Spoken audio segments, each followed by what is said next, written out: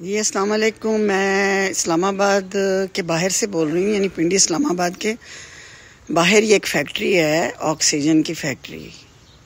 اس یہ average education تھی اس لڑکے کی۔ لیکن اس نے دن رات محنت کی، غریب کا پتر تھا۔ پاکستان میں کیا کچھ نہیں ہے، صرف یہاں بدنیتی اور حسد نہ ہو۔ تو پاکستان جیسا بہترین ملک کوئی نہیں ہے۔ غریب کے پتر نے اتنی محنت کی، نیک نیتی کے ساتھ کہ آج یہ آکسیجن فیکٹریز نے بنائی، اس کا مالک کیا لاکھوں کروڑوں میں کھیل رہا ہے۔ اور جب میں یہ دیکھتی ہوں، باہر نسو باہر نسو او پاکستان جو کچھ نہیں پیا۔ پاکستان جو پاکستان جو سب کچھ ہے۔ صرف تاری نیتاں تے فطور ہے۔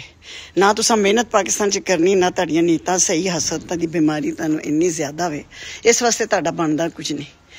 ورنہ اگر تسی نیت والے ہو، محنت والے ہو تو جو کچھ پاکستان جنی ترقی اور عیش ہے، سب ہے۔ ہاں نہیں، جنوں ویکھو ਬਾਹਰ ਨਾ ਸੁਬਾਰ ਨਾ ਸੁਬਾਰ ਜਾ ਕੇ ਨਾ ਗੋਰੀਆਂ ਦੇ ਕੁੱਤੇ ਧਵਾਓ, ਗਲੀਆਂ ਤੇ ਪਏ ਹੋਵੇ ਤੇ ਹੋਮਲੈਸ ਜਾ ਕੇ ਮਨਹਟਨ ਚ ਜਾ ਕੇ ਨਿਊਯਾਰਕ ਚ ਵੇਖੋ। ਹੋਮਲੈਸ ਨਸ਼ਈ ਪਏ ਹੋਏ ਨੇ। ਐੱਮ ਬੀ ਬੀ ਐਮਬੀਬੀਐਸ ਵੀ ਅਗਰ ਕਰਕੇ ਜਾਓ ਤੇ ਜੋ ਉੱਥੇ ਦੇ ਇਮਤਿਹਾਨ ਪਾਸ ਨਾ ਕਰੋ, ਡਾਕਟਰ ਨਾ ਬਣੋਗੇ ਤੇ ਫਿਰ ਟੈਕਸੀਆਂ ਚਲਾਉਂਦੇ ਹੋਵੋਗੇ, ਹਸਦ ਕਰਦੇ ਹੋਵੋਗੇ ਸੈਡਿਸਟ ਹੋਵੋਗੇ।